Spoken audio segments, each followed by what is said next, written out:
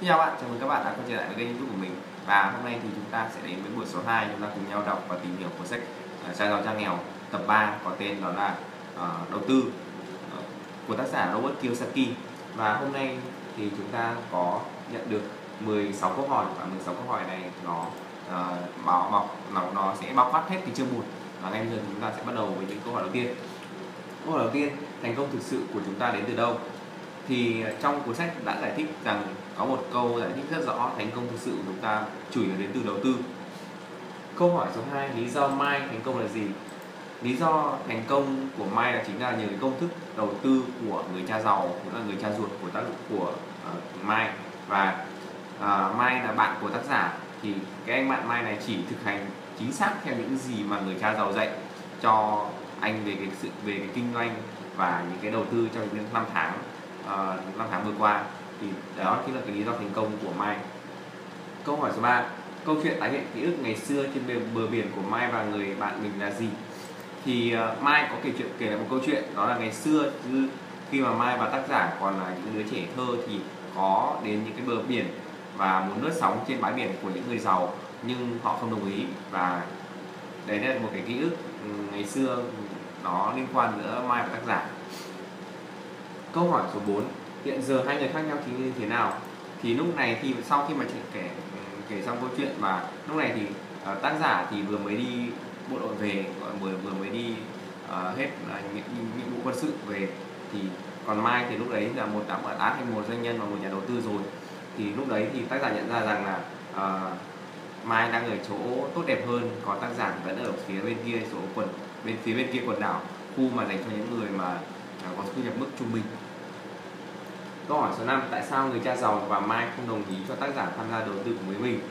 Thì ờ, lúc này thì tác giả đã ừ, khi mà hai người gặp nhau thì uh, có cả cha người cha giàu ở đó nữa thì tác giả đã xin rằng là muốn đầu tư cùng với người cha giàu và cả Mai nhưng mà đã bị phản đối bởi vì uh, người cha giàu có nói rằng đối với Mai và ta đầu tư là một cái dự án dự án nó sẽ không phạm luật nhưng mà đối với con tức là đối với tác giả thì nó sẽ hợp pháp.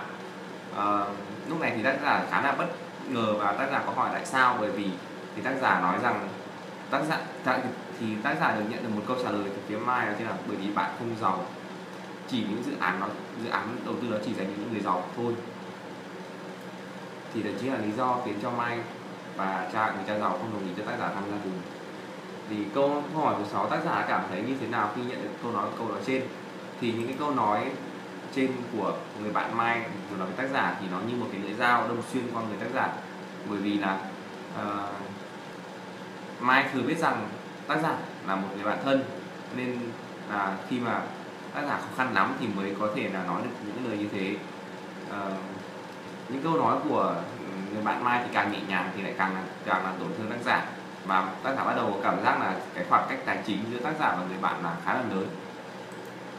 Câu hỏi số 7 người cha giàu đã giải thích điều gì với tác giả khiến tác giả ngã người vào ghế sau khi nghe người cha giàu nói? Và tại sao người cha giàu không cho tác giả đầu tư? Thì lúc này người cha giàu mới giải thích rằng cái dự án đầu tư đó chính là dự án đầu tư cổ phiếu.